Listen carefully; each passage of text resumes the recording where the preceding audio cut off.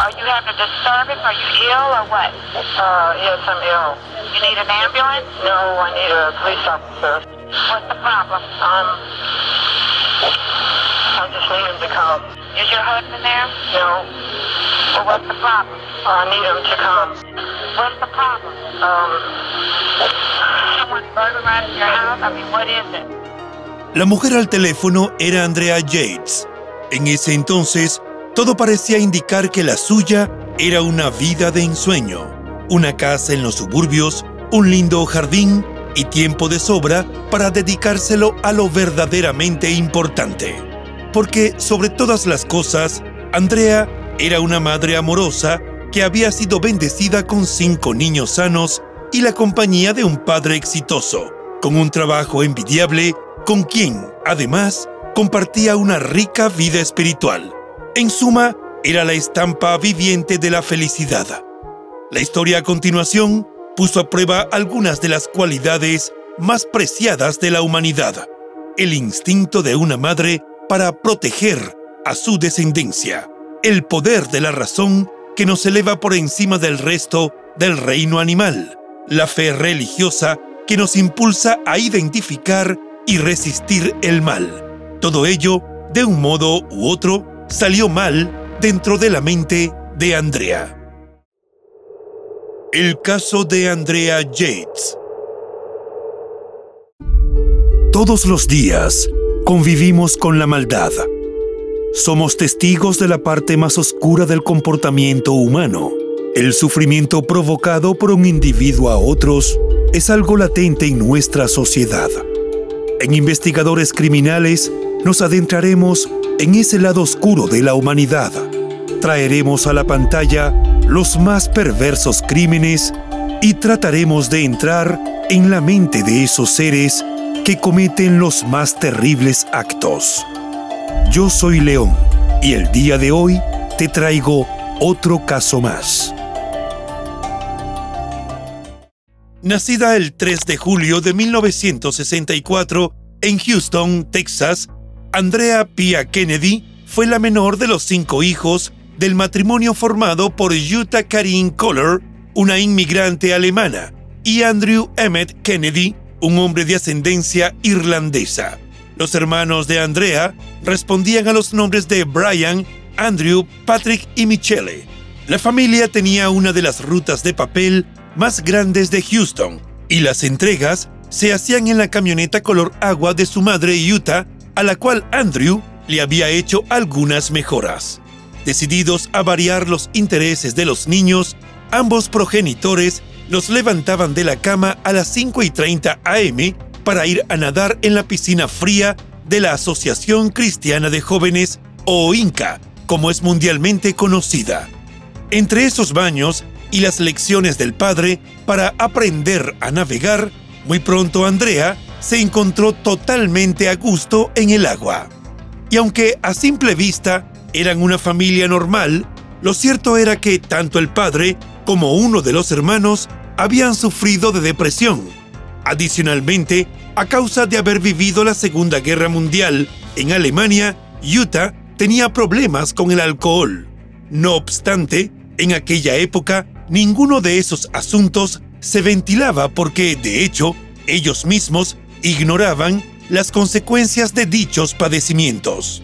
En cuanto a Andrea, a medida que crecía fue mejorando sus habilidades acuáticas, lo que le hizo destacar en la escuela. Más tarde, tan pronto como tuvo edad suficiente, la jovencita consiguió un trabajo en un restaurante local y tuvo suficiente disciplina y constancia para mantener el empleo y continuar sus estudios. Y no solo eso, contrario a lo que podría pensarse, ello no implicó un menor rendimiento, pues los padres de Andrea eran exigentes en ese sentido y ella, por su parte, siempre estuvo interesada en complacerlos. Para la época, la chica hizo amistad con una compañera llamada Marlene Work, quien se convirtió en la única persona de su absoluta confianza. Quisquillosa en cuanto a su vida privada, Andrea no dejaba que la gente se acercara lo suficiente. Estaba convencida de que cada cual debía ocuparse de sus propios asuntos y esperaba que los demás actuaran de igual manera.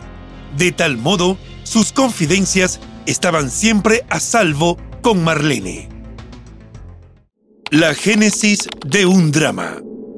Durante su adolescencia, comenzaron los primeros indicios de que algo andaba mal en su vida. Primero, manifestó un desorden alimenticio, bulimia. Luego, su ánimo decayó y tuvo una depresión. A los 17 años, le llegó a confesar a Marlene que cada tanto la asaltaban ciertos deseos de atentar contra sí misma. A pesar de ello, en 1982, al término de la escuela secundaria, Andrea fue la mejor estudiante de su clase. Entre otros logros, también había destacado como capitana del equipo de natación y oficial de la Sociedad Nacional de Honor. Luego, ingresó a un programa de preenfermería de dos años en la Universidad de Houston. En esa época, perdió contacto con Marlene. Su amiga creía que podía estar atravesando por otra etapa difícil y simplemente esperó.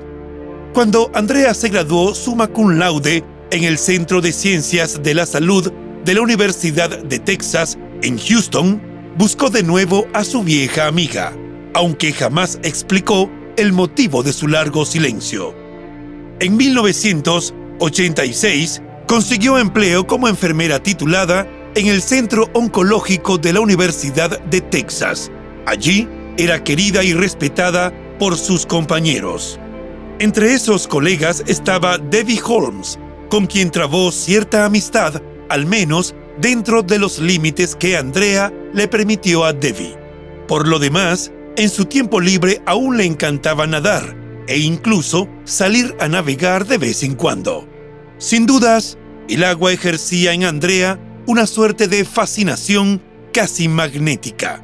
Pero esa aparente normalidad que la joven exhibía no tenía correlato con lo que ocurría dentro de su cabeza, donde anidaban confusas angustias.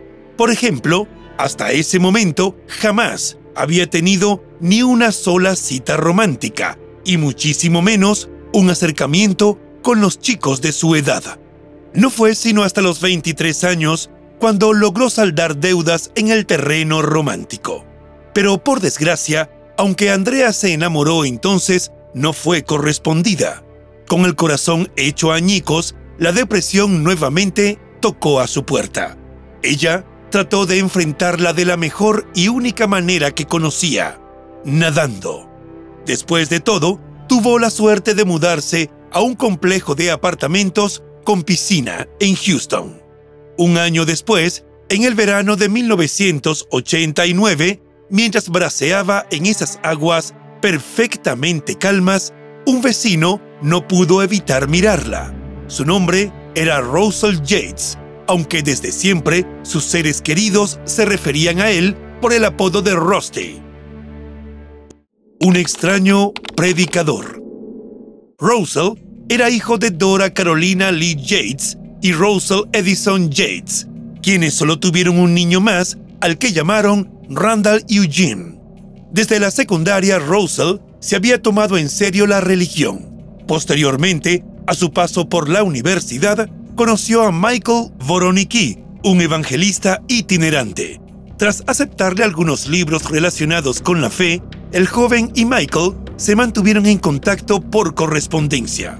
Si bien provenía de una familia católica tradicional e incluso había intentado postularse para ingresar a las órdenes franciscana y dominicana, al final Michael eligió seguir otras vías de estudio más acordes con su línea de pensamiento.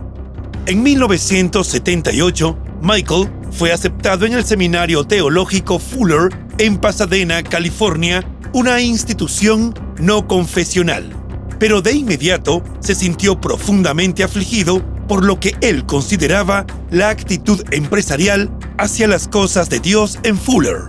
Esa inconformidad finalmente lo llevó a pararse en el césped del campus y predicar su versión muy personal de Jesús a sus compañeros de estudios y profesores cuando salían de la capilla. Allí también se enfrentó a sus compañeros por las actitudes de orgullo e hipocresía que, según él, contradecían la vida de Jesús de Nazaret. Más tarde, Michael comenzó su propia iglesia local y su ministerio de predicación callejera. La abogada Lucy Purgier ha recordado aquellos inicios. family traveled around the country or certainly around Texas in a bus proselytizing, I think mostly on college campuses. Los informes han apuntado que Michael solía gritarles a las universitarias que todas se irían al infierno por andar estudiando y desenvolviéndose en un mundo material, cuando en su lugar debían perseguir la salvación y tener descendencia. Un mensaje por demás polémico. The dilemma with his message, as I understand it, is that if you think you're saved, if you think you're a Christian, if you think you're going to heaven, then that proves you're going to hell because that's prideful and only God knows who's going to heaven. Sea como sea, Russell sintió una conexión muy fuerte con aquel hombre al punto de que sus consejos tuvieron gran influencia durante esos años. Entre tanto, tras egresar de la universidad como ingeniero, Russell obtuvo un empleo de ensueño, diseñando sistemas informáticos para la NASA. En cuanto a su mentor espiritual, todo parece indicar que hubo cierto alejamiento. Hasta que la muerte los separe. Russell había visto a Andrea tomando sol en bikini junto a la piscina del complejo. Un instante después, cuando la chica saltó a nadar, él la contempló asombrado. Mientras ella se estabilizaba con los dedos de los pies contra la pared de la piscina y se estiraba para flotar serenamente sobre su espalda, su largo cabello castaño formaba un lento remolino en el agua azul, a la vez que sus brazos extendidos le hicieron a él pensar en una cruz. Parecía tan en paz. De pronto Russell creyó que aquella chica bien podría quedarse dormida en ese lecho de agua. Entonces tuvo una suerte de revelación. Se trataba de una mujer que era más elegante dentro del agua que fuera de ella. Más tarde, Andrea fue sola, como de costumbre, a comer a un restaurante de carnes junto al río. Allí divisó a Russell. También estaba solo. A su alrededor, varias parejas charlaban íntimamente. De regreso a su complejo de apartamentos, Andrea garabateó una nota en un trozo de papel de cuaderno y lo colocó debajo del limpiaparabrisas del Toyota Corolla blanco de su vecino. Básicamente, lo invitó a pasar por su casa. Por supuesto, era la primera vez en toda su vida que se atrevía a semejante osadía. Pero lo cierto era que Andrea había llegado a un punto en el que le urgía la compañía. El lunes siguiente, él optó por no ir a su habitual práctica de fútbol por la noche y en su lugar tocó la puerta de Andrea. Hablaron durante más de una hora. Aunque ambos tenían 25 años y formación académica, ella usó dos o tres palabras que él desconocía y eso le causó una fascinación inmediata. Russell admiraba la inteligencia y la consideraba un atractivo extra. Quizás por temor a avergonzarlo, Andrea no le dijo entonces que había sido la mejor estudiante de secundaria. Fue un auténtico flechazo. Pasaron dos años conociéndose, conviviendo, leyendo la Biblia y orando. Después se mudaron juntos. Sin embargo, Andrea mantuvo en secreto unas cuantas cosas de su vida, entre ellas su historial de depresión. El 17 de abril de 1993 se casaron y tuvieron una celebración sin extravagancias, acorde con las formas de ser y pensar de los dos. Y eso no era lo único en lo que estaban totalmente de acuerdo. Andrea y Russell tenían ideas muy claras sobre el futuro. Por ejemplo, la pareja habló abiertamente con los invitados a la boda sobre un plan de no utilizar métodos anticonceptivos y el deseo de tener tantos hijos como la naturaleza les permitiera. From a the religion standpoint, I would say we're both pretty conservative. Para materializar sus deseos, compraron una casa de cuatro habitaciones en Friendswood, Texas. Era lo suficientemente grande para todos esos hijos con los que tanto soñaban. Casi de inmediato lograron su cometido. Esperaban al primogénito a quien llamaron Noah Jacob. El niño nació en febrero de 1994, justo antes de que Russell aceptara una oferta de trabajo en Florida, lo que los obligó a mudarse a un pequeño remolque en Seminole. Andrea decidió dedicarse al cuidado del pequeño y renunció a su empleo.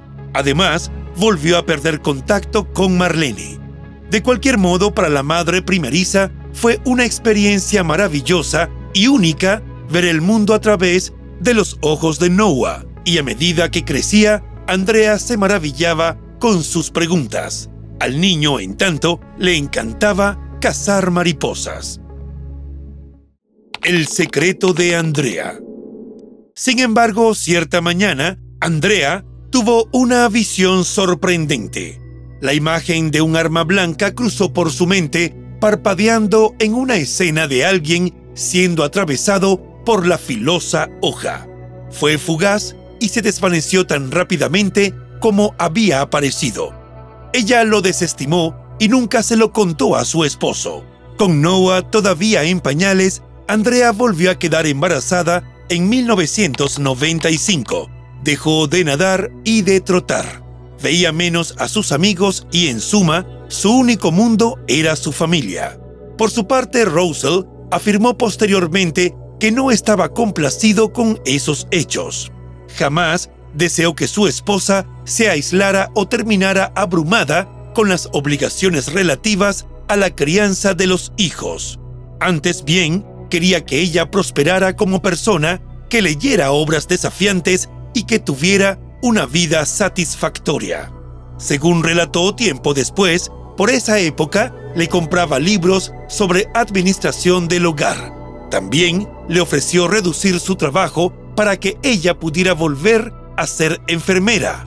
No obstante, su esposa zanjó la discusión de inmediato diciéndole que ahora era madre y como tal debía comportarse.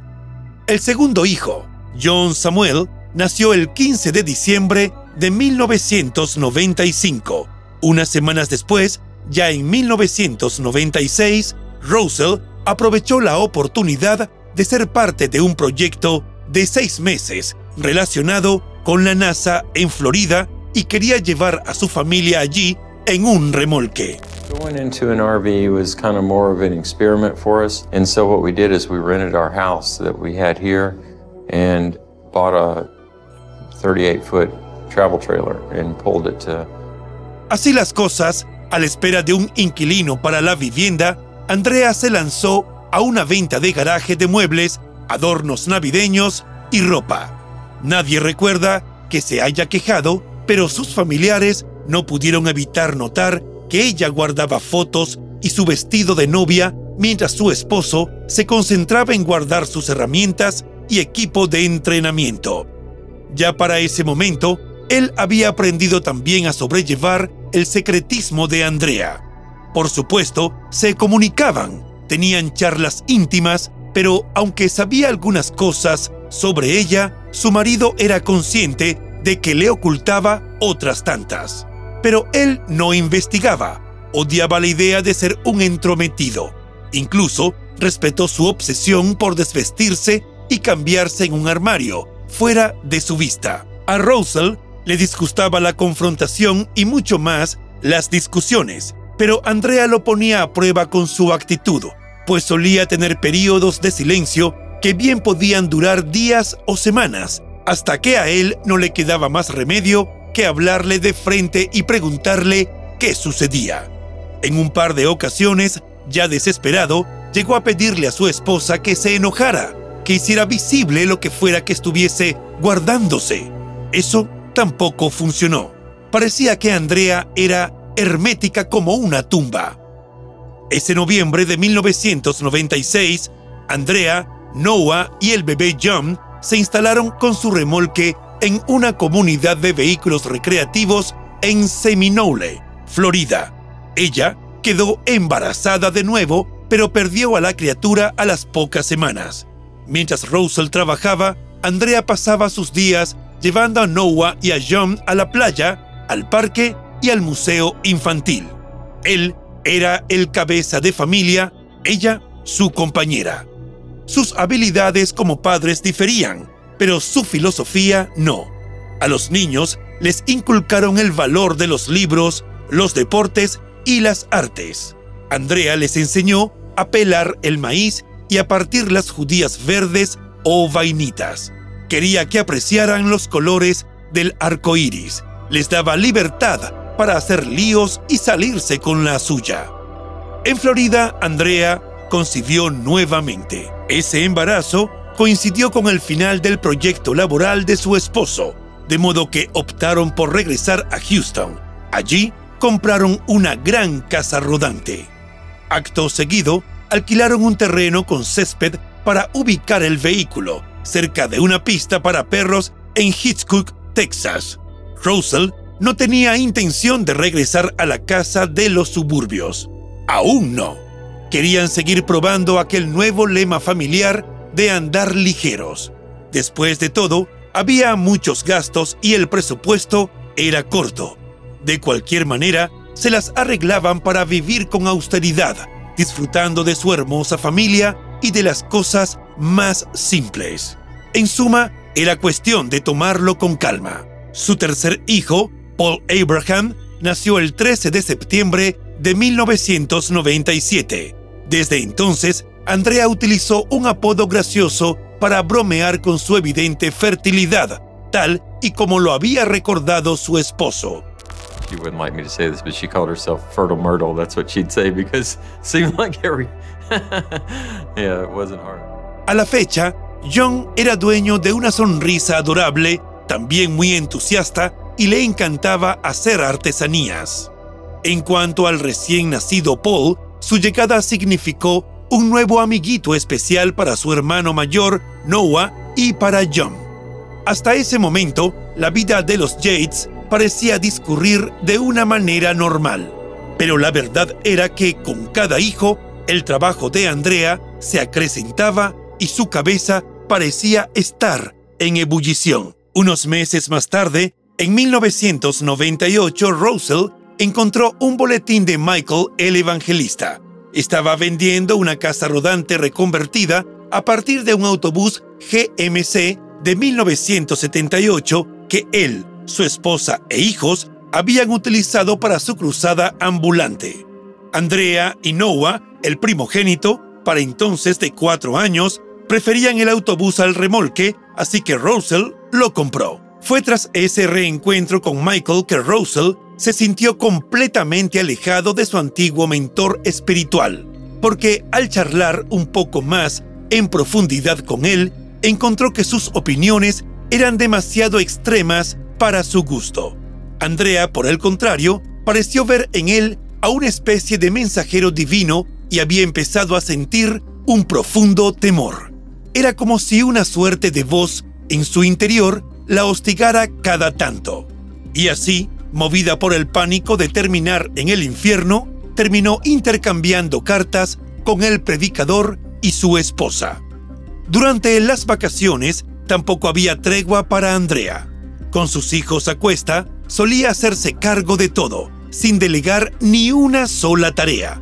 Servía ricos platos de comida para sus familiares y cuando por fin podía sentarse a la mesa, su propia comida estaba fría. Todo lo suyo quedaba postergado. Siempre era Andrea la que visitaba. Rara vez permitía que sus familiares fueran a su hogar, a pesar de que vivían a solo 30 minutos de distancia. En palabras de su hermano Andrew, ellos se acercaron tanto como ella les permitió. Algunos de sus seres queridos concluyeron que Andrea sentía vergüenza por vivir en un remolque. La atareada madre cambiaba pañales las 24 horas al día, bañaba a los niños y hacía todo en el hogar. Una pesadilla al acecho. En esa época, su padre fue diagnosticado con Alzheimer algo que la tomó por sorpresa y le destrozó el corazón. Entonces, Como si acaso no llevase ya una vida por demás exigida, se dedicó también a atenderlo. Buscando desahogarse, retomó el contacto con Debbie, su antigua colega, y a ella le confesó que, pese a la postal de hogar feliz, su marido era controlador y manipulador. Sin embargo, nada de ello parecía evidente para él. She seemed perfectly fine up until after we had Luke, which was our fourth. El cuarto hijo nació el 15 de febrero de 1999 y recibió el nombre de Luke David. Here we are on our way home. What does that say, boys? It says, Congratulations, Rusty and Andrew, it's a boy. That's so cute. Giving us a little welcome home. Pocos meses después, la familia tomó el autobús hacia el Gran Cañón. Andrea parecía agotada y preocupada en el camino de regreso a Texas. Su esposo supuso que sufría las secuelas de la gripe que todos habían tenido, pero luego su mujer fue presa de un profundo desánimo. El 16 de junio de 1999, llorando y casi histérica, lo llamó al trabajo y le pidió que volviera a casa. La encontró en la parte trasera del autobús, desplomada en una silla. Se mordía los dedos y sus piernas temblaban aún más incontrolablemente que sus manos. Le costaba hablar, pero aún así logró decirle que necesitaba ayuda. Russell la subió junto a los niños a su vehículo particular y acto seguido condujo hacia el sur hasta Galveston. Allí, frente al hermoso paisaje de la bahía, acompañó a su esposa a lo largo del malecón en un intento de calmarla. No obstante, al notar que ella seguía conmocionada, emprendieron el regreso a casa. Al día siguiente, Russell condujo con ella y sus cuatro hijos a bordo, hasta la casa de sus suegros. Creyó que allí estaría mejor contenida, de modo que se marchó a hacer algunas tareas pendientes. Pero esa misma tarde, Andrea le dijo a Utah, su madre, que iba a tomar una siesta. Una vez a solas, ingirió al menos 40 pastillas de un medicamento antidepresivo que le habían recetado a Utah para ayudarla a dormir. Cuando su madre entró en la habitación, su hija yacía inconsciente en la cama junto al frasco vacío. De inmediato, la aterrorizada mujer se comunicó con los servicios de emergencia. La dosis era suficiente para dejarla sin vida, pero por suerte su madre la había encontrado a tiempo.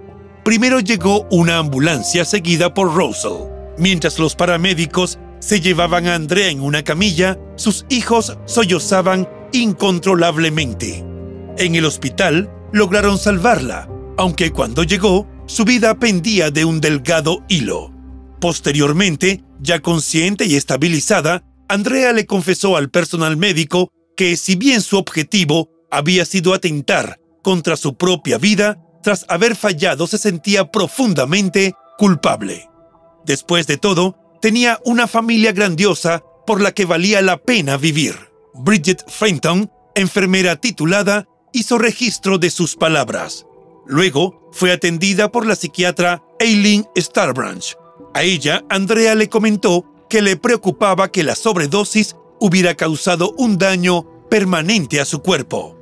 A todas luces, los desequilibrios anímicos de su adolescencia habían retornado potenciados, profundizados. En consecuencia, tuvo que ser internada en un establecimiento psiquiátrico donde le recetaron varios antidepresivos. Sin embargo, la recuperación no fue tan inmediata como el arrepentimiento. Una muestra de ello ocurrió el 20 de junio de 1999. Andrea se retiró de la terapia de grupo a su habitación del hospital.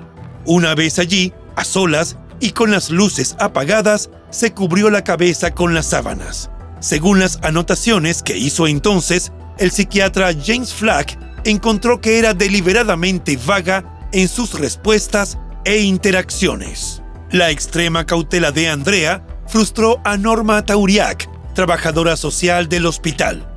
Hablaba de su infancia, pero desviaba las preguntas de Norma sobre sus hijos o su crisis nerviosa. Lo único que dijo al respecto fue que estaba abrumada y deprimida. Cuando Norma le preguntó sobre sus puntos fuertes, Andrea hizo una pausa y luego dijo que no se le ocurría ninguno, al menos no en aquel momento. Russell, por su parte, tenía su propia evaluación y dio la impresión de no ser muy empático. En una conversación telefónica con Norma, acusó a su esposa de haber perdido su identidad. En sus palabras, dependía de él para tomar decisiones y únicamente se concentraba en los niños. Toda vez que Norma quiso saber sobre su matrimonio, él manifestó que quizás podría tratarla con más respeto. También añadió que Andrea podría estar luchando con el concepto de salvación. La trabajadora social le pidió que fuese más claro al respecto y Russell explicó que su esposa se sobreexigía demasiado. Entre las notas que el especialista grabatió en el expediente figuraba que, a su juicio, el marido de la paciente era un tanto controlador. En realidad, Norma desconfiaba de él. Había insistido en que los problemas de su esposa eran simplemente signos de depresión posparto temporal, no una enfermedad mental más grave. También le dijo que estaba en una especie de entrenamiento con los niños para que aprendieran a estar más tranquilos durante periodos prolongados y que les estaba enseñando a trabajar la madera. En palabras de Russell, su hijo de tres años y medio era capaz de usar un taladro eléctrico. Como era el primer episodio severo, una vez estabilizada, le dieron el alta. Russell la llevó de regreso con sus padres para que se recuperara, pero a Andrea nunca le gustó tomar pastillas y simplemente fingió tragarlas. Tal y como era de esperar, su condición empeoró. Permanecía en cama todo el día y a fuerza de rascarse con las uñas, se causó lesiones en el cuero cabelludo y se produjo dolorosas heridas en la nariz. Además, en medio de sus silenciosas obsesiones, también se valió de sus uñas para hacerse marcas en piernas y brazos. Alarmados, sus seres queridos sentían que vivía en otro mundo, uno donde era imposible acercarse. Hasta entonces, sus familiares no habían comprendido a cabalidad que la enfermedad mental era hereditaria. Al ya preocupante cuadro se sumaron otros síntomas que, de haberlo sabido su familia, habría pedido ayuda especializada de inmediato. Fue por esa época que Andrea experimentó nuevas visiones y voces, que no solo le hablaban, sino que también le daban órdenes, por demás perversas, que la instaban a conseguir un arma blanca. Luego volvió también la tenebrosa imagen que vio por primera vez después del nacimiento de Noah, pero en esta oportunidad pudo ver en la imagen los sangrientos resultados. Las visiones regresaron hasta 10 veces durante varios días. Sin embargo, Andrea cayó la pesadilla que vivía y ni siquiera a su marido quiso contarle nada. Lo que sí dijo, tanto a Russell como al resto de su familia, fue que los niños estaban comiendo demasiado. Así las cosas, cuando Luke, de apenas cuatro meses, lloraba, Andrea intentaba mecerlo para que se durmiera y darle un chupete, pero no le daba de comer. La tarea de destetar al bebé y darle el biberón recayó en su anciana madre, que luchaba por cuidar a sus nietos sin desatender a Andrew, su marido enfermo. Tres semanas después, Russell enfrentó otra escena pavorosa. Encontró a su esposa en el baño mientras apretaba un arma blanca contra su propio cuello. Al verse descubierta, le rogó que la dejara morir. Él se acercó con cuidado, la agarró del brazo y le quitó el objeto filoso. Ya puesta a salvo, Russell le narró lo sucedido a la doctora Eileen. Por supuesto, ella recomendó que volviera a ser hospitalizada. Esta vez fue derivada a un centro privado en el noroeste de Houston. Transcurridos 10 días de internación, Andrea estaba casi catatónica.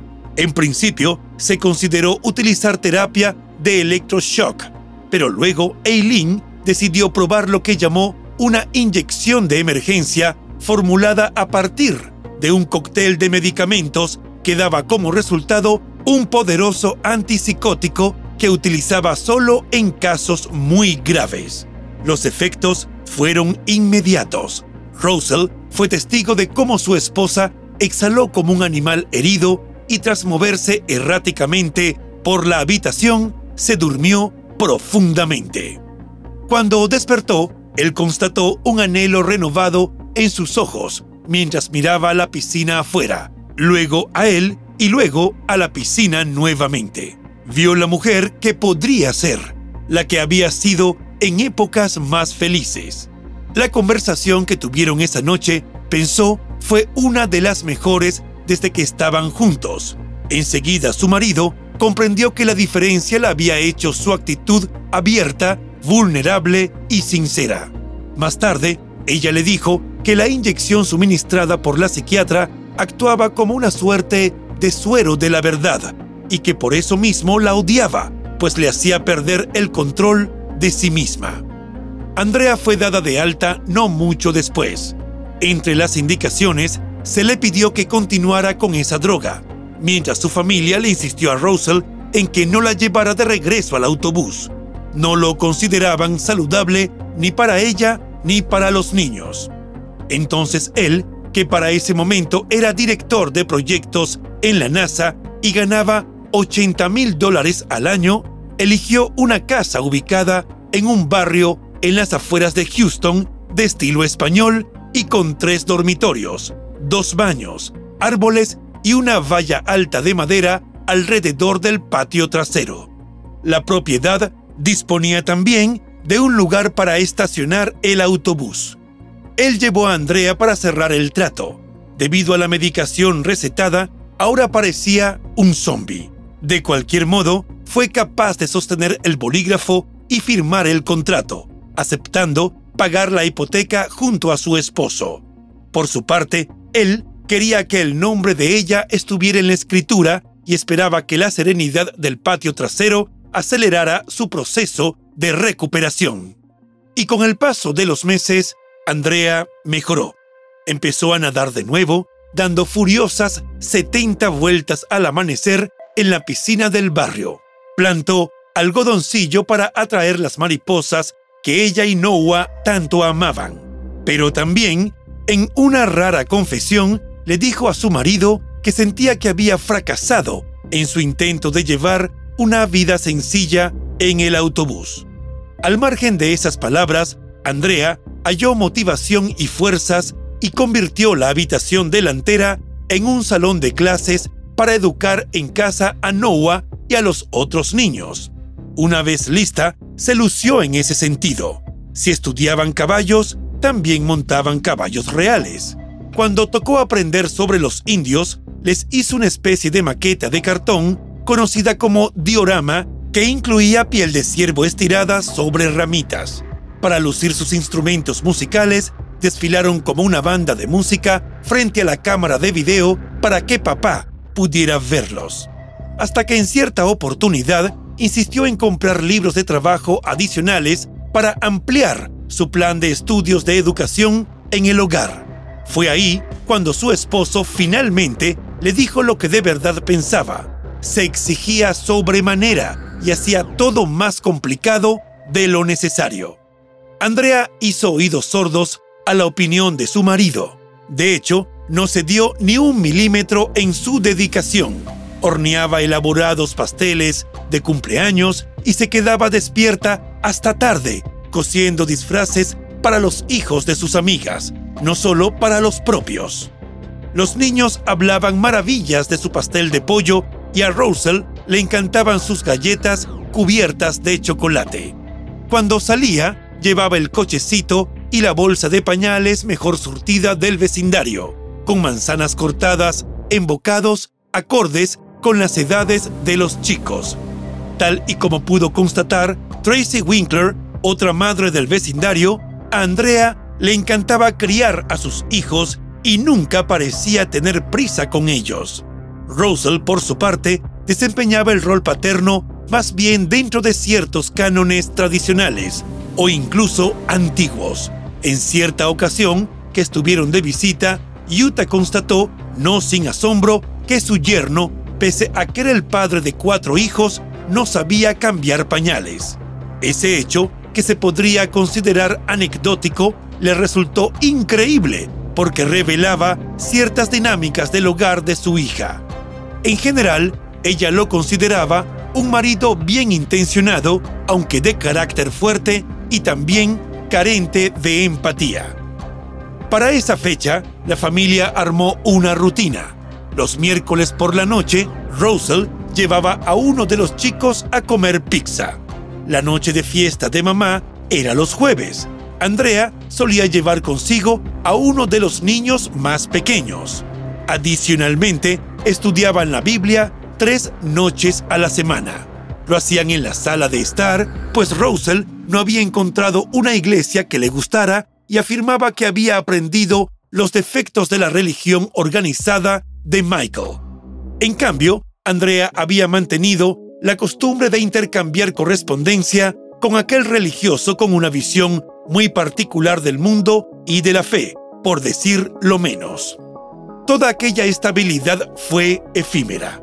Un mes después, Andrea tuvo un nuevo ataque de nervios, que culminó con dos intentos de atentar contra sí misma y dos hospitalizaciones psiquiátricas consecutivas. Los profesionales, por fin, dieron un diagnóstico. Andrea tenía psicosis posparto. Aunque es poco frecuente, ya que afecta a una de cada mil madres y no debe ser confundida con la depresión posparto, la enfermedad se caracteriza por pérdida del sentido de la realidad y por provocar alucinaciones y alteraciones graves del comportamiento. Según declaró posteriormente la doctora Eileen, a partir del diagnóstico, les indicó a ambos que lo mejor era no tener más hijos, pues cada parto, sin duda alguna, ocasionaría en Andrea una futura depresión psicótica. Para su sorpresa, no mucho después, durante una visita de la pareja al consultorio, ellos expresaron su deseo de no continuar con la medicación destinada a preservar la salud mental de Andrea, porque la intención de ambos era seguir teniendo más hijos, al menos si así se los permitía la naturaleza. La profesional, en vista de que estaban actuando en contra de todo el criterio médico, escribió una nota al respecto en su informe para dejar asentado el punto y salvar su responsabilidad. Fue hacia finales de 1999 cuando felizmente horneaba galletas y hacía ejercicio nuevamente que Andrea dejó la medicación. En paralelo, el matrimonio abandonó el uso de anticonceptivos. You know, the decision to have more children in 2001 was based on information we got from the doctor because we'd successfully treated it in 99. If it happened again, we knew how to treat it now. Thinking ahead, we were thinking, well, this will be, if it happens at all, it's going to be a relatively short spell. She'll be down at, at worst for a while. Tal y como lo veía Russell, el nacimiento de Luke, el cuarto hijo, bien podría haber desencadenado su enfermedad, pero al mismo tiempo, la criatura había sido una bendición. La ecuación parecía muy sencilla, pero no todos compartían esa idea. A la madre de Andrea le preocupaba que su yerno hubiera contribuido al primer colapso de su hija. Asimismo, su ex colega de enfermería, Debbie, intentó hablar con ella sobre las cargas de la maternidad. Ya tenía cuatro hijos y no comprendía la necesidad de buscar otro, pero Andrea le dijo a su amiga que así lo deseaba su esposo. En la primavera de 2000 volvió a quedar embarazada. Mary Deborah, la quinta hija, nació el 30 de noviembre de ese año. La niña, de vivaces ojos azules, fue recibida con inmenso amor. Andrea aparentaba estar bien, aunque como siempre estaba sobrecargada de trabajo, mientras a la fecha el amoroso Luke intentaba que los hermanos se llevaran bien y especialmente ayudaba a criar a su hermanita. Según ha contado el mismo Russell, durante todos esos años, su esposa se negó a contratar a alguien que la ayudara en las labores domésticas, a pesar de que a tantas responsabilidades se sumó la de ocuparse de una recién nacida, Andrea nunca faltó un día de visita cuando Andrew, su padre, agonizaba en la primavera de 2001. Se llevaba a todos los niños con ella al hospital local. Luego, cuando los médicos lo enviaron a casa, siguió allí, a su lado. Andrew Emmett Kennedy, el hombre que una vez le enseñó a navegar, se había convertido en un ser frágil, confinado a una silla de ruedas y solo podía hacer gárgaras con el agua que su hija le podía dar. Una pérdida irreparable. El 12 de marzo de 2001, su padre falleció. Esa noche, Andrea insistió en manejar hasta la casa de sus padres. No obstante, la visión del cuerpo sin vida de Andrew la devastó, terminando de desencadenar su total derrumbe psicológico. Dejó de tomar todos los medicamentos, comenzó a autolesionarse y a leer la Biblia con obsesión. Russell llegó a casa un día y encontró a Noah molesto porque su madre lo había reprendido por una tarea. Tampoco era capaz de reírse con nada, tal y como pudo notar su hermano, que llevaba el mismo nombre de su padre, Andrew. Pese a todo ello, jamás les pidió ayuda a sus seres queridos. Tal vez no sabía cómo hacerlo.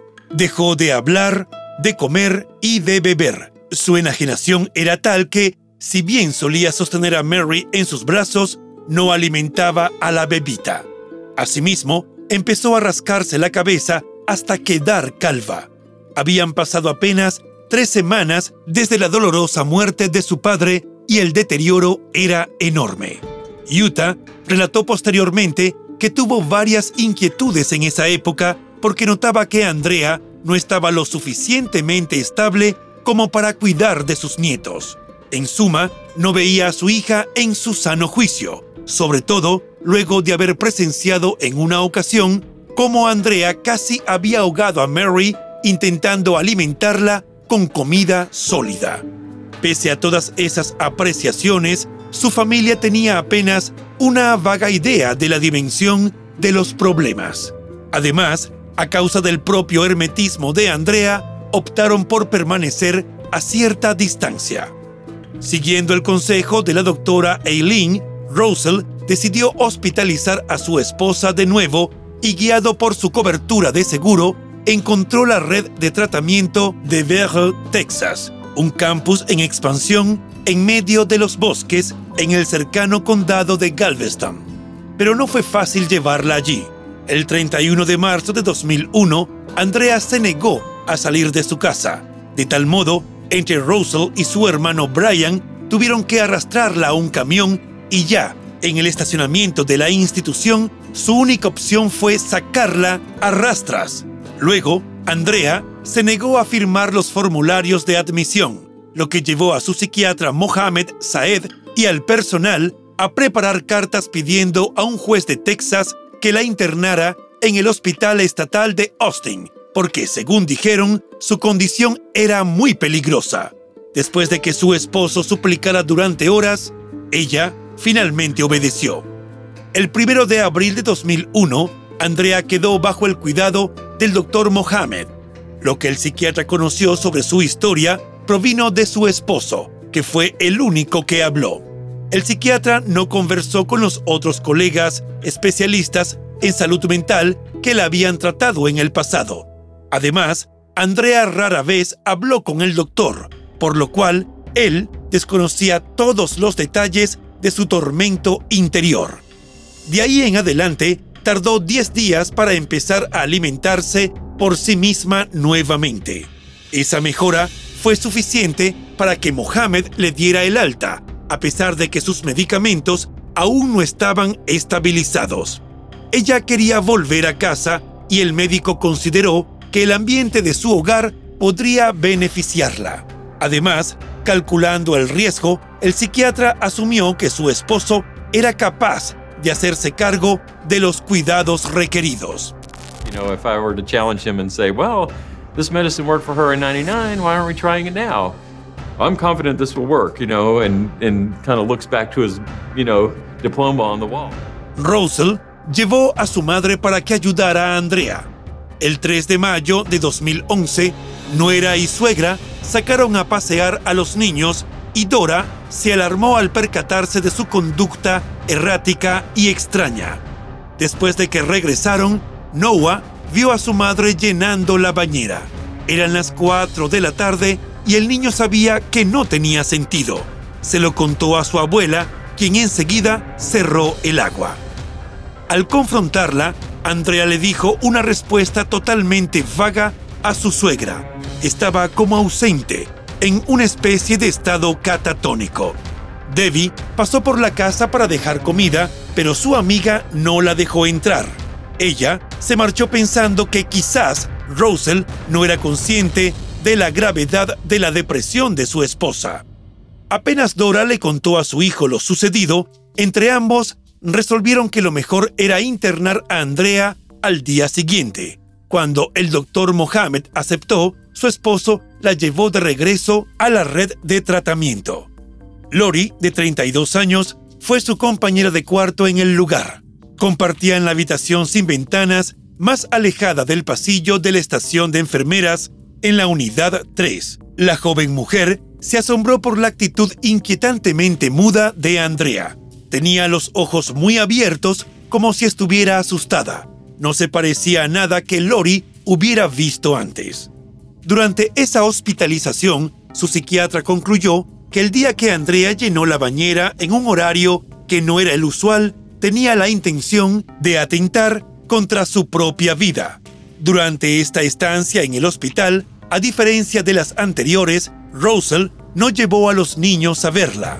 Sin embargo, para el Día de la Madre, los cuatro niños y Mary le llevaron un globo de helio en forma de corazón y chocolates con una rosa en la caja. A pesar de estar consumiendo una mezcla de antidepresivos, Andrea había experimentado una mejoría casi imperceptible. Pero por primera vez, cuando Mohammed le preguntó si tenía pensamientos autolesivos, ella respondió que no. Los trabajadores del hospital notaron que, durante la terapia de grupo, Andrea todavía no decía nada, excepto su nombre. Además, las enfermeras detectaron en ella un estado de ánimo que calificaron como sombrío y en cuanto a su juicio, aún parecía deteriorado. Sin embargo, se duchaba y era capaz de comer, siempre siguiendo un mínimo de indicaciones. Durante la jornada posterior, el doctor Mohammed escribió en su expediente que, si bien todavía parecía deprimida, comía y dormía mucho mejor. Considerando solo estos dos indicadores y sin hablar siquiera con la familia, le dio el alta. En la tarde de ese 14 de mayo, cuando Rosal fue a su visita diaria, encontró a Andrea esperando en la estación de enfermeras. Estaba lista para volver a casa. El 18 de junio, cuando fueron juntos al control con el doctor Mohamed, el psiquiatra halló a la paciente silenciosa y sombría. Tampoco se había cambiado de ropa ni se había peinado antes de la cita. En el mes transcurrido desde su salida de la red de tratamiento, el médico la envió a seis días de terapia ambulatoria en los que nuevamente incluyó sesiones de cuatro horas de duración sobre abuso de sustancias y adicción, algo que nada tenía que ver con Andrea. Por si fuera poco, decidió suspenderle uno de los medicamentos y modificó la combinación de otros, enviando a Russell a la farmacia cinco veces a buscar pastillas. En la tarde del día siguiente, Andrea vio dibujos animados en la sala de estar y luego se unió a una ronda de baloncesto con su esposo y su hijo Noah en el garaje. Tras hacer unos 15 tiros a la cesta, sin decir palabra, volvió a entrar y se metió en la cama sin cambiarse de ropa. Durmió hasta la mañana siguiente. Las pesadillas se habían apoderado de ella. Una tragedia indescriptible. Ese miércoles 20 de junio de 2001, Rosal notó con cierta preocupación cómo su esposa repartía nerviosa los tazones de cereales con leche entre sus hijos. Si bien el psiquiatra que atendía a Andrea le había dicho que ella necesitaba supervisión permanente, él estaba convencido de que a ella le haría bien estar a solas con los chicos, al menos por breves periodos. De esa manera, pensaba él, ella no se desentendería del todo de sus tareas maternales y adicionalmente no se volvería tan dependiente de la ayuda externa. Poco después, Russell le dio a su mujer la dosis diaria de la droga recetada y partió a su oficina. Su mente estaba enfocada en la exposición que debía preparar sobre el progreso del sistema de instrumentación del vehículo espacial para el que trabajaba en la NASA.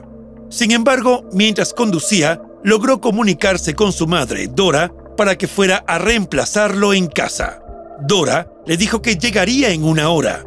No le pareció que 60 minutos pudieran ser un problema y Andrea estaba bien. Eso creía él. Esos 60 minutos bastaron para que su mujer, de 37 años, sacara primero de escena al perro familiar, encerrándolo en una jaula.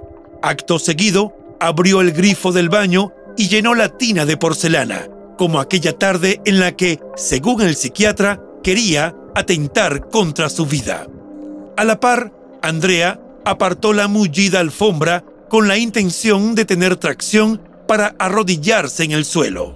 Cuando todo estuvo listo, sumergió en la bañera uno por uno a sus cinco hijos. Solo le costó un poco de trabajo perseguir al último de los niños, Noah. Una vez que terminó con ellos, deslizándose sobre las baldosas mojadas, goteando huellas acuosas desde el cuarto de baño hasta su dormitorio, Andrea dispuso sus cuerpos en la cama matrimonial y enderezó las mantas alrededor de los niños en pijama.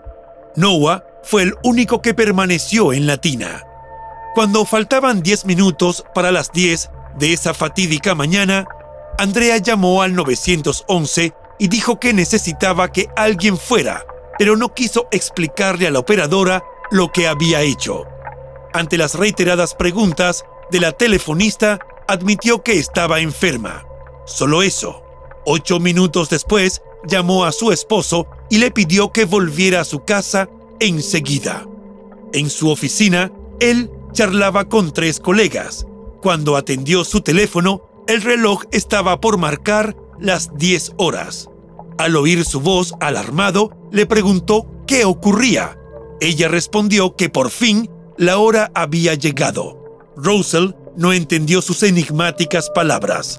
Imagine what actually happened. But I was worried because I'm like, well, Andrea called me with a firm tone, said I needed to come home, and so I did. Russell cortó la comunicación y llamó angustiado a su madre Dora, pidiéndole que se apurara en llegar y advirtiéndole que algo grave había pasado. A esa hora, el oficial de policía David Knapp patrullaba la zona y recibió la alerta, de modo que en cuestión de segundos estuvo ante la vivienda del sur de la ciudad de Houston. En la puerta, David se sorprendió al encontrar a una mujer de larga cabellera de color castaño con su blusa de flores y sus sandalias de cuero marrón empapadas de agua. El oficial le preguntó cuál era la razón por la que necesitaba a la policía, a lo que ella respondió contándole lo que había hecho. Tras llamar para solicitar refuerzos, David se adentró en la vivienda. A su paso por el living, escuchó al perro de la familia ladrando en su jaula. Caminó por un pasillo alfombrado y lleno de fotos familiares y por último ingresó a la habitación matrimonial. Todavía impactado y sin entender cómo ocurrían ese tipo de cosas, prestó atención a cada detalle en el dormitorio. En el colchón, lo primero que notó fue un pequeño brazo sobresaliendo por debajo del acolchado. Al inspeccionar, vio que había allí cuatro niños. Chequeó sus signos vitales y comprobó, no sin horror, que ninguno tenía pulso. Unos cinco minutos más tarde, el oficial Frank Stumpo llegó en respuesta a una solicitud de refuerzos que había hecho David. And David approached me right at the hallway. And I said, What's going on? And he looked at me and he said, It's a homicide. Mientras David se quedó con Andrea en la sala de estar, Frank continuó hacia la habitación principal. Expecting to find a man on the floor, a body. And I was looking around, looking around, saying, what? And I seen this little tiny head. And it was looking right at me. Aún entonces, el oficial Frank ignoraba la magnitud de la tragedia. And I said, what in the world? And I thought it was a doll. And I walked over to that little tiny head and I touched it right here, put my finger on it. And I said, what in the? And I picked up the blanket and there was that little tiny body. It was a human being. I said, oh my. And I picked up the, and as I continued to pick up the blanket, it was one body after another. One, two, three, four. Al girarse y entrar al baño, en la tina medio llena de agua, el oficial descubrió el cuerpo del quinto niño. Nueve minutos después, la casa se llenó de policías. Sentada en un sillón azul, Andrea daba los datos que David solicitaba. En la mesa de la cocina podían verse los restos del desayuno y en el piso varios juguetes, mientras la vivienda iba siendo presentada como escena de un espantoso crimen. Russell se coló por debajo de las cintas amarillas y de inmediato sus gritos sobresaltaron aún más a los presentes. Police were there in my yard. I wanted to go inside. They wouldn't let me inside. They told me what happened. And, um, you know, I just, I remember laying in the grass and just bawling.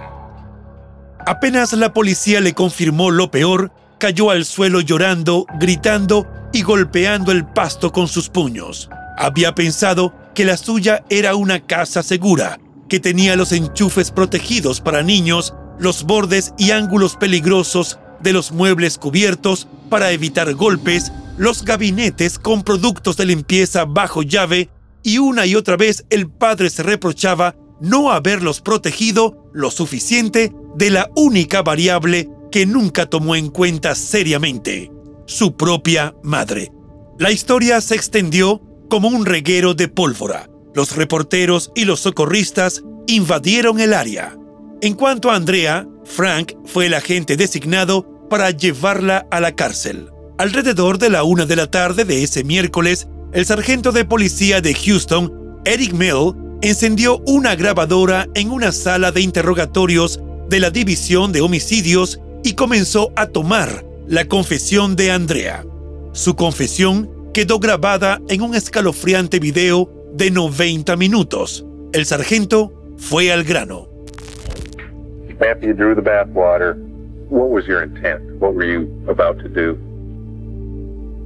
And the children. A lo largo de ese primer interrogatorio, ella declaró que no odiaba a sus hijos ni estaba enojada con ellos.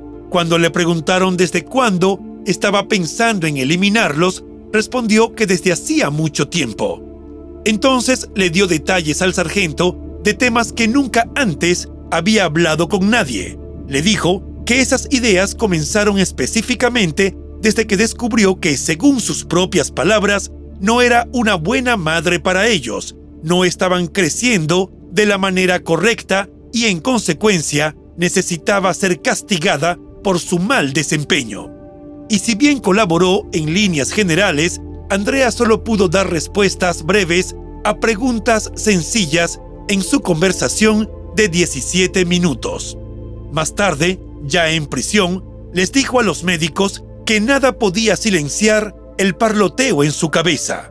El fallecimiento de sus hijos, dijo, fue su castigo, no el de ellos.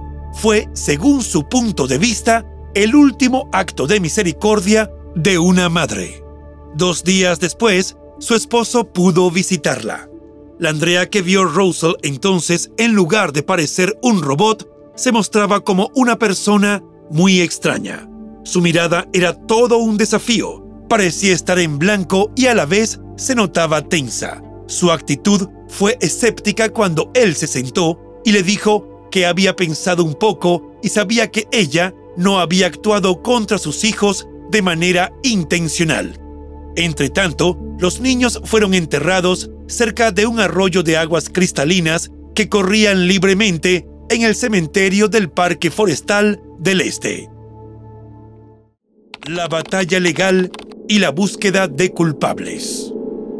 En esa instancia, lo que estaba en juego en términos del proceso judicial era el estado mental de Andrea, sus motivos y su voluntad. Sus abogados argumentaron que los crímenes habían sido provocados por delirios psicóticos exacerbados por repetidos episodios de depresión postparto. Los fiscales, por su parte, cuestionaban el alcance de su psicosis, sosteniendo que era capaz de distinguir el bien del mal y que arrebatar la existencia de sus cinco niños fue un intento intencional de escapar de una vida que le resultaba intolerable. Si bien Andrea era la acusada, el caso también significó un escrutinio de su esposo, sus médicos, su madre y sus hermanos. La opinión pública se preguntaba qué y cuánto sabía cada uno de ellos sobre su condición y si podrían haber hecho algo para evitar semejante tragedia. Durante el juicio, celebrado a comienzos del año 2002, el fiscal Chuck Rosenthal solicitó la pena capital para Andrea. Por su parte, si bien mantuvo su versión de que había llenado la bañera con plena intención, ella manifestó que en un momento decidió postergar el asunto. En cuanto a Russell, testificó que nunca se había enterado de que Andrea había padecido alucinaciones o que escuchaba voces. Además, enfiló sus baterías contra el doctor Mohammed, sosteniendo que su esposa estaba demasiado enferma para ser dada de alta luego de su último ingreso en el hospital en mayo de 2001. Para él, una combinación de antidepresivos recetados incorrectamente por dicho doctor en los días previos a la tragedia habría sido la causa del comportamiento violento y psicótico de Andrea.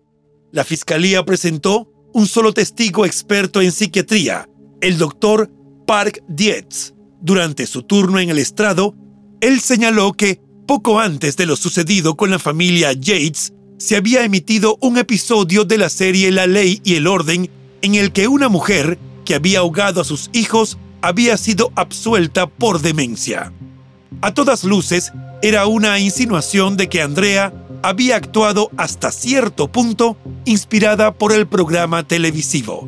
Pero lo que el doctor ignoraba era que en aquella sala abarrotada, la autora Susan O'Malley cubría el juicio para varias y prestigiosas agencias y revistas. No solo eso, Susan además había sido guionista de La Ley y el Orden y por tanto sabía perfectamente que aquel episodio jamás había existido.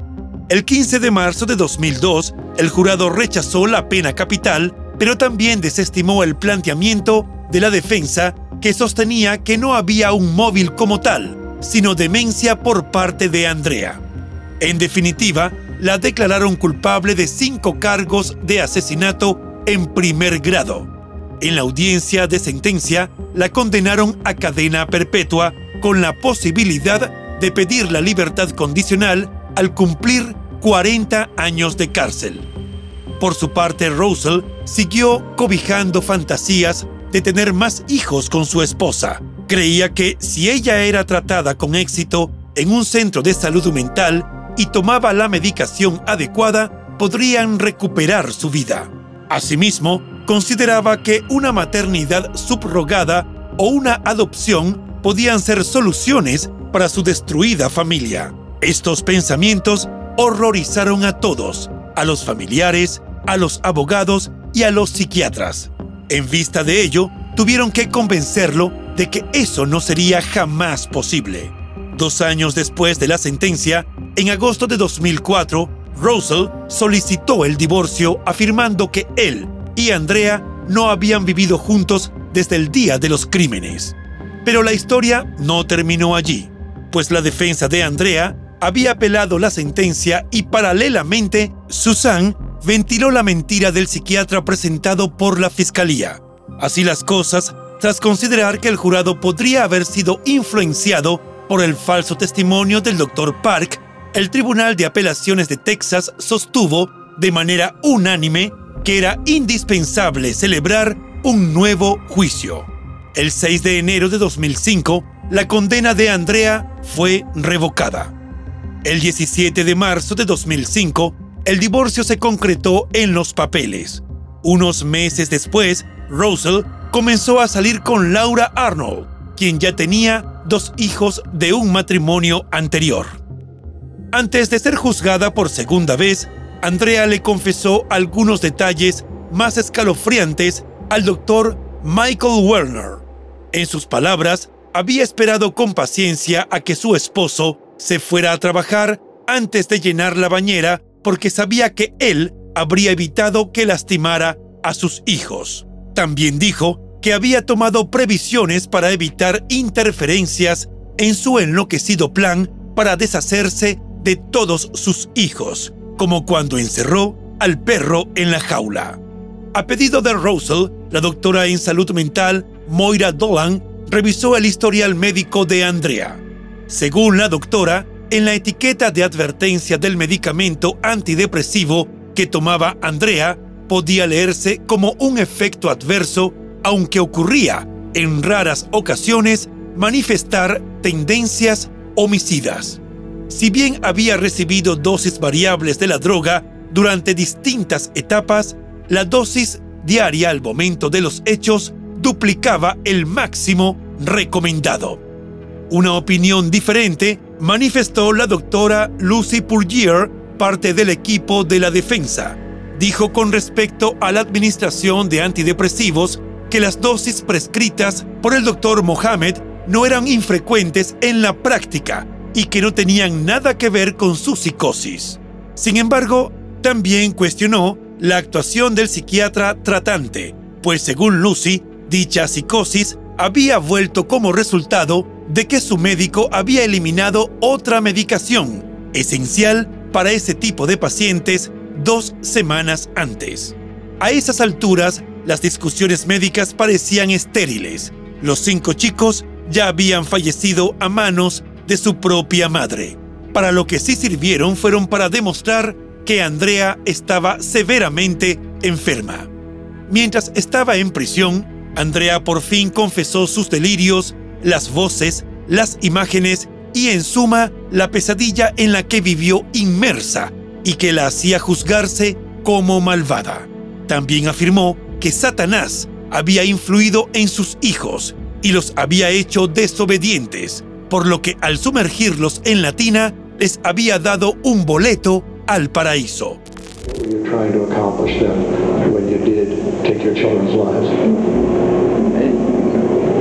Maybe in their, their innocent years, God would take them up. God would take them up to be in heaven, is that what you mean? All right. And if you had not taken their lives, what did you think would happen to them? They would have continued stumbling. And where would they end up? Hell. En esa oportunidad, las indagaciones del psiquiatra expusieron hasta qué punto llegaban los delirios de Andrea. What sort of they, they weren't, uh, they just- just did a lot of silly stuff and didn't obey. Didn't obey you when you told them to do things. All right. You mentioned their manners before. Can you give me an example of their manners? Just when, Rusty's mom would visit, they would um, treat her well, call her names. Be disrespectful. Mm-hmm. Okay. Now, you concluded that they were not righteous, and you're a religious person, and explain to me what you meant by not being righteous. Well, they didn't do thing God. They didn't do things God likes. El 9 de enero de 2006, en ocasión del segundo juicio, Andrea se declaró una vez más inocente por razón de locura. El 1 de febrero de 2006 se le concedió la libertad bajo fianza con la condición de que fuera admitida en un centro de tratamiento de salud mental. El 26 de julio de ese mismo año, después de tres días de deliberaciones, fue declarada no culpable por demencia. Ella se comprometió a ser internada en el Hospital Estatal del Norte de Texas. El 25 de marzo de 2006, Russell se casó por la iglesia con Laura y más tarde tuvieron un hijo. En cuanto a Andrea, fue trasladada en 2007 al Hospital Estatal de Kerrville, en Texas, un centro mental de baja seguridad donde ha permanecido durante el transcurso de los años, hasta 2023. El terrible caso de Andrea inspiró, como suele pasar, a directores de cine y escritores.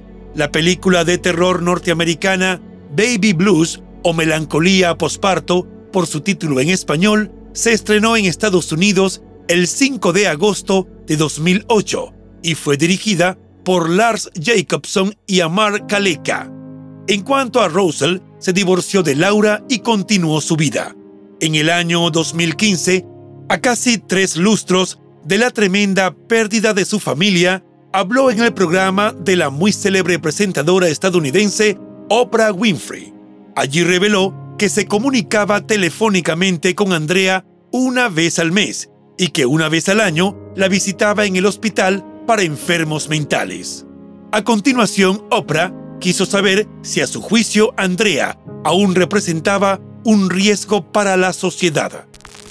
No. It, it, let caveat that. You know, as long as she's taking antipsychotic medicine, she's no danger to anyone. Adicionalmente, Russell no solo manifestó entonces que había perdonado a Andrea, sino que en realidad jamás la había culpado a ella, sino a su enfermedad. La madre de Andrea y Utah siempre dijo que ella estaba convencida de que su yerno compartía alguna responsabilidad en la tragedia, sobre todo considerando cómo solía evadir las tareas relacionadas con la atención de los niños. En cuanto a Michael, se ocupó de desmentir cualquier vínculo con el caso. De hecho, a través de su página web personal, expresó que la insinuación de que sus ideas habían servido de inspiración a Andrea no era más que una campaña masiva de difamación en línea. El caso de Andrea y sus cinco pequeños hijos ha seguido movilizando la conciencia de la opinión pública. Se cuestionan los roles de la familia, de los médicos y de todo el entorno, así como el de la misma Andrea con sus secretos. También ha generado debate sobre algo que en líneas generales nos gusta considerar una cuestión moral resuelta, que una persona debe ser considerada responsable de sus acciones y elecciones. Hasta el día de hoy, su liberación se somete a revisión todos los años y cada año Andrea Yates renuncia a ese derecho. La ley de Texas establece que el tribunal tiene jurisdicción durante el tiempo que hubiera durado su sentencia de prisión. En el caso de Andrea, es el resto de su vida.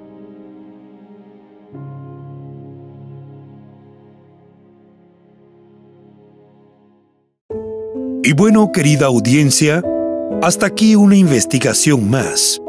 ¿Qué opinan del caso de hoy? Nos gustaría mucho leer sus comentarios, ya que su opinión sobre los casos es muy importante para nosotros. Recuerden siempre hacerlo con el máximo respeto posible, tanto para la víctima como para los demás espectadores y nosotros que los estamos leyendo. Antes de irte, deja tu me gusta y suscríbete si aún no lo estás. Tampoco te olvides de compartir este video si crees que alguien que conoces le puede interesar. Nos vemos hasta otra investigación criminal. Adiós.